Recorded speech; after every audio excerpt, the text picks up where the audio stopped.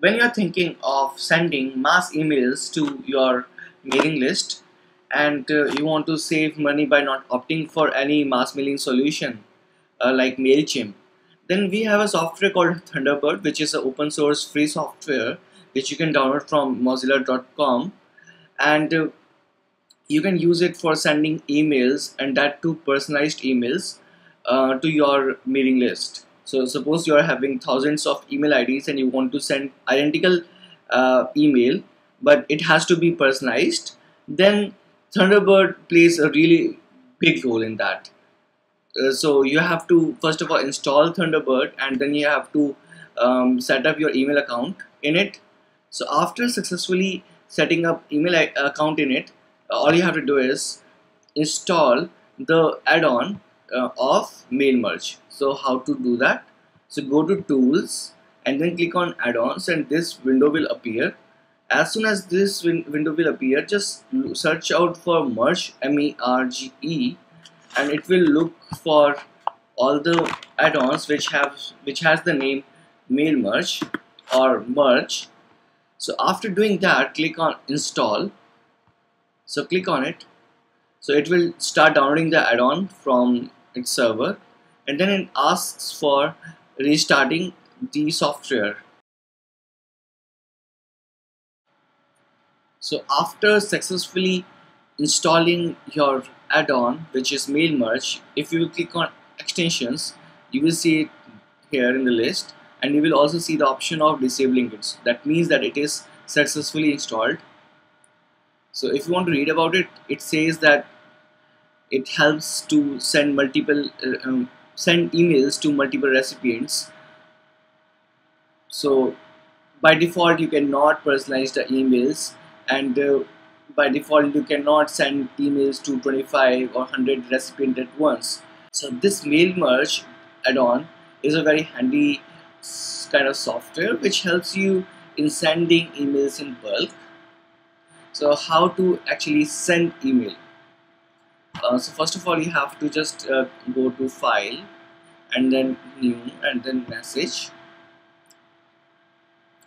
And over here you have to enter the email ID to which you want to send then subject and then body of the uh, email. So before that we will just open LibreOffice to uh, LibreOffice or um, Windows Excel Microsoft Excel.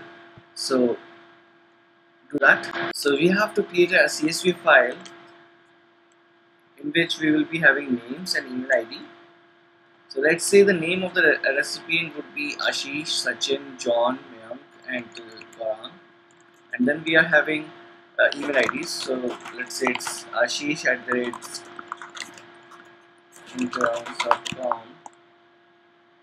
So we are just creating some dummy email IDs so that can be sent.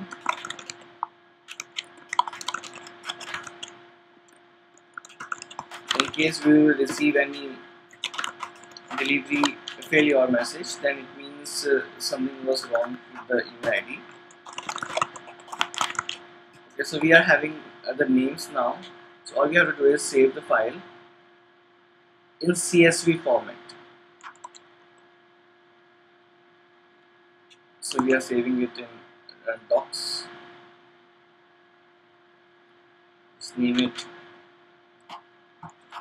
email list.csv uh, or from here you have to select uh, text csv which is .csv and then click on save.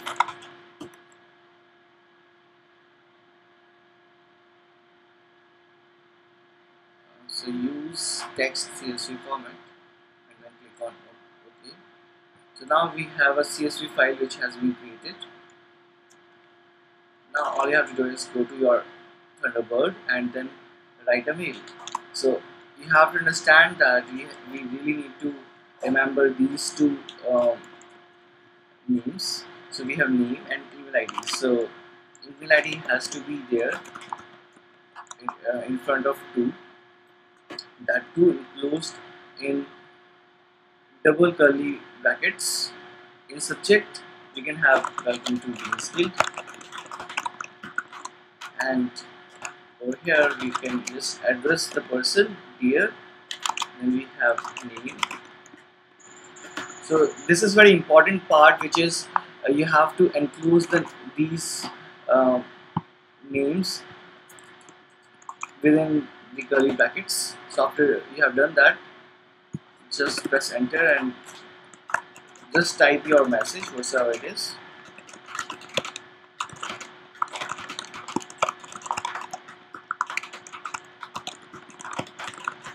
So after doing that you can just go to this file and then mail merge option. And over here you will see attachment. So since we don't have any attachment uh, we don't need it. And uh, deliver mode we can have send now so here the source would be a CSV file and which is in the documents folder. So locate that file from the file browser and then select it. So after successfully selecting it then press ok. And then now mail will be start uh, sending out. So we can see we have current one total 5 and it is delivering the email and then again it is connecting with the SMTP and it is delivering the message. So emails are being sent one by one to the recipients.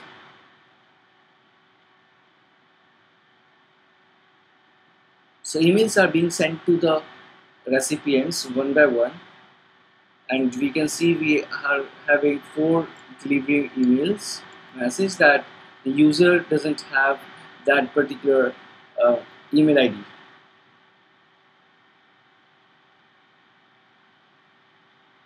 The email IDs to which we send the emails uh, don't exist. So if they don't exist, then we will receive the failure message. So we received a few, four of them.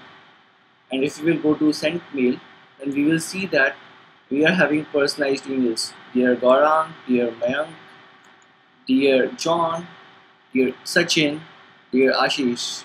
So if you are having hundreds of emails, then it saves a lot of time uh, when you send emails.